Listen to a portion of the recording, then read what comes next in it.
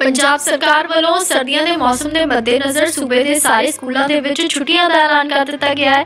ਐਲਾਨ ਦੇ ਮੁਤਾਬਿਕ ਸਾਰੇ ਸਰਕਾਰੀ, ਪ੍ਰਾਈਵੇਟ, ਏਡਡ ਅਤੇ ਮਾਨਤਾ ਪ੍ਰਾਪਤ ਸਕੂਲਾਂ ਦੇ ਵਿੱਚ 24 ਦਸੰਬਰ ਤੋਂ 31 ਦਸੰਬਰ ਤੱਕ ਛੁੱਟੀਆਂ ਦਾ ਐਲਾਨ ਕੀਤਾ ਗਿਆ ਹੈ। ਪੰਜਾਬ ਸਰਕਾਰ ਦੇ ਸਿੱਖਿਆ ਵਿਭਾਗ ਦੇ ਵੱਲੋਂ 21 ਦਸੰਬਰ ਮਤਲਬ ਕਿ ਬੀਤੇ ਦਿਨ ਹੀ ਨੋਟੀਫਿਕੇਸ਼ਨ ਜਾਰੀ ਕੀਤਾ ਗਿਆ ਹੈ। ਦੱਸਦੀ ਕਿ ਪਹਾੜਾਂ ਦੇ ਵਿੱਚ ਬਰਫ਼ਬਾਰੀ ਦਾ ਅਸਰ ਮੈਦਾਨੀ ਇਲਾਕਿਆਂ ਦੇ ਵਿੱਚ ਵੀ ਦੇਖਣ ਨੂੰ ਮਿਲ ਰਿਹਾ ਹੈ ਜਿਸ ਕਾਰਨ ਪੰਜਾਬ ਦੇ ਵਿੱਚ ਠੰਡ ਦਾ ਕਹਿਰ ਲਗਾਤਾਰ ਵੱਧ ਰਿਹਾ ਹੈ। ਇਸ ਦੇ ਮੱਦੇਨਜ਼ਰ ਹਰ ਸਾਲ ਦੀ ਤਰ੍ਹਾਂ ਇਸ ਸਾਲ ਵੀ ਸਕੂਲਾਂ ਦੇ ਵਿੱਚ ਸਰਦੀਆਂ ਦੀਆਂ ਛੁੱਟੀਆਂ ਦਾ ਐਲਾਨ ਕੀਤਾ ਗਿਆ ਹੈ। ਹੁਣ ਸੂਬੇ ਦੇ ਸਕੂਲ 1 ਜਨਵਰੀ ਨੂੰ ਨਵੇਂ ਸਾਲ ਵਾਲੇ ਦਿਨ ਖੁੱਲਣਗੇ।